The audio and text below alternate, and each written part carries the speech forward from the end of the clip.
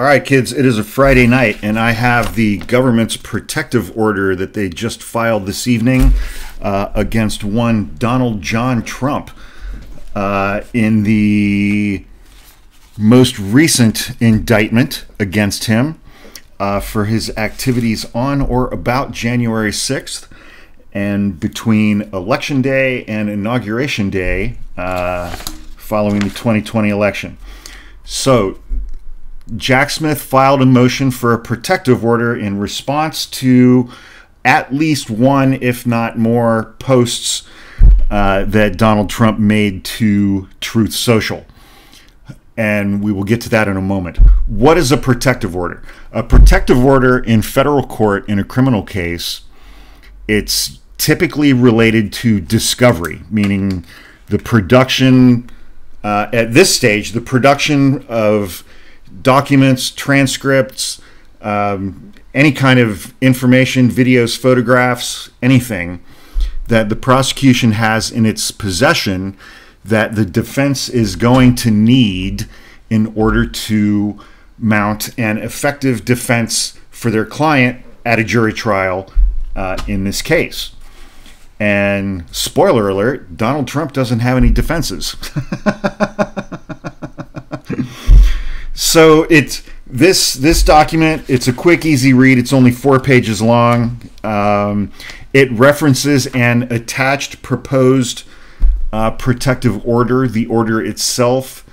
Uh, I couldn't find a copy of this document online that had the actual protective order proposed uh, protective order attached to it. So I don't know specifically about that, but I'll tell you what that means in a moment the purpose of a protective order. In discovery, the protective order guards against excessive, unreasonable, or confidentiality breaking uh, requests by parties who are requesting evidence in a case.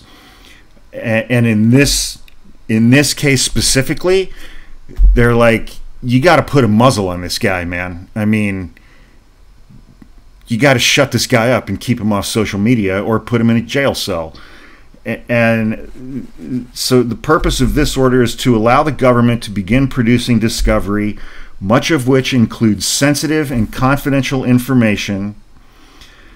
You know, the government respectfully moves the court for entry of the attached proposed protective order governing the disclosure of discovery by the parties in the above captioned case, blah, blah, blah.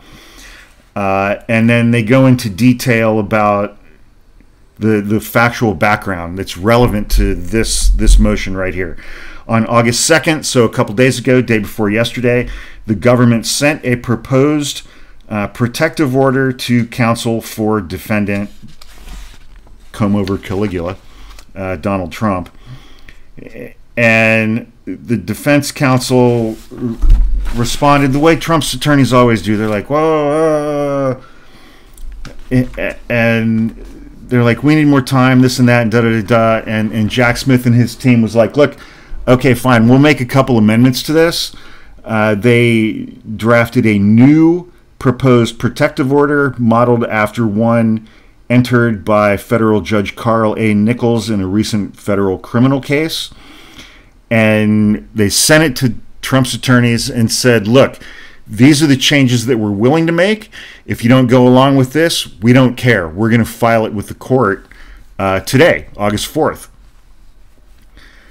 And so, why does the government do this? Because every defendant in every federal criminal case is entitled to basically all of the materials that the government has that it intends to use in prosecuting them. That includes uh, grand jury testimony transcripts, which are confidential, uh, and all kinds of other sensitive and confidential material uh, that the government may have in its possession. An important distinction between this case and the Mar a Lago documents case. As far as I know right now, uh, there are no documents, there's no video, there's no evidence of any kind relative to Jack Smith's indictment of Donald Trump for uh, events on or about January 6th or between Election Day 2020 and Inauguration Day 2021 There, there, none of that evidence is classified or has uh, markings of any classification level. Uh, so that's a huge difference between these two cases. And frankly, that's a big reason why I think that this case, the January 6th indictment, is going to go to trial before June of next year, uh, 2024. And it's going to go to trial well before uh, the trial on the Mar a Lago documents case. But whatever. Um, so the government has an interest in protecting a large amount of sensitive and confidential material contained within the first set of evidence or discovery that the government is going to provide to Donald Trump uh, and and his incompetent attorneys. One of whom admitted to one of the counts in the indictment last night while being interviewed by Laura Ingraham on Fox News. So that was cool. Um, now, so the court may, for good cause, enter a protective order governing or restricting discovery or inspection. And citing the case of United States v. Cordova, a trial court can and should, where appropriate, place a defendant and his counsel under enforceable orders against unwarranted disclosure of the materials which they may be entitled to inspect. So, meaning that the government is going to provide Trump's attorneys with, you know, for example, all of these transcripts of grand jury witness testimony. That is confidential for now. Uh, we have not hit the trial stage yet. However, does anybody think that Donald Trump is going to get his hands on those transcripts and not post a bunch of shit on Truth Social as to what's contained in that testimony? That's why the government is seeking this order. One reason. There's another reason. Uh, and I I highlighted this. And there, I told you, I told you earlier today when he posted this truth social that said, if you go after me, I'm coming after you. I said that's a threat to potential jurors. It's a threat to the prosecutors. It's a threat to potential witnesses. It's a threat to the judge. And so they included this section, the government did. Such a restriction is particularly important in this case because Donald Trump has previously issued public statements on social media regarding witnesses, judges, attorneys, and others associated with legal matters pending against him. And in recent days, regarding this case, the defendant has issued multiple posts either specifically or by implication, including the following, which defendant just posted hours ago. If you go after me, I'm coming after you. Donald J. Trump, Truth Social. If the defendant were to begin issuing public posts using details, or for example, grand jury transcript scripts, obtained in discovery here, it could have a harmful, chilling effect on witnesses or adversely affecting the fair administration of justice in this case. And what is very strongly implied is, is what I just said. I mean, when Donald Trump got arraigned yesterday, the judge said two things to him which were remarkably out of the ordinary. Don't do any more criming. Don't commit any more crimes, you criming crimer. because he just he just wakes up every morning and goes out and commits felonies every frickin' day. And the second thing she said to him, or the magistrate, I shouldn't say judge, the magistrate said to him, um, do not do anything which could be interpreted as trying or attempting to influence any juror or jurors in this case. If you go after me, I'm coming after you. What a nightmare client. The outcome of a criminal trial is to be decided by impartial jurors who know as little as possible about the case, based on material admitted into evidence before them in a court proceeding. Extrajudicial comments, uh, statements made outside of the courtroom, like posting on Truth Social or discussion of evidence which might never be admitted at trial obviously threatens to undermine this basic tenet. So they're basic the the Jack Smith and I mean it didn't even take 36 hours. It took less than 24 hours for Donald Trump to lose his mind on Truth Social and start posting threats against everybody involved in the case who's not him or his defense attorneys. It took less than 24 hours from his arraignment.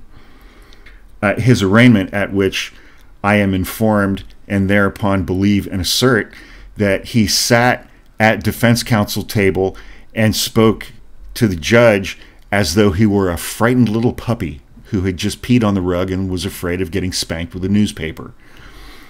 Um, when he's alone in you know his bathroom with the golden toilet at Mar-a-Lago with his cell phone, he's a tough guy on Truth Social. But when he's in that courtroom with Jack Smith, who he refused to look at, and with the magistrate or the judge, both of whom are black women in this case, he is a cowed little puppy, man. I mean, he's like, um, uh, yes, yes, Your Honor. No, Your Honor. I'm sorry, Your Honor. Uh, yes, Your Honor. Because he's a narcissistic bully, and narcissistic bullies are cowards at the end of the day. Um, so, what is not mentioned in this document is if there is a specific hearing date on this motion uh, or whether there is any kind of a calendar or schedule for Donald Trump and his attorneys to file a response to this document before the judge issues a decision. The judge is going to issue a decision on this, not the magistrate who heard the arraignment yesterday. And so, and I, you know, I mean, they filed this at what, like 6 p.m. on a Friday night or whatever. Um, so it's uh, it's going to be an interesting couple of days. Uh, we will see what the judge does with this. We'll see what Donald Trump's attorneys do with this. And but I fully, fully anticipate the judge to. So she's going to do this in stages. They're like, he's issuing threats.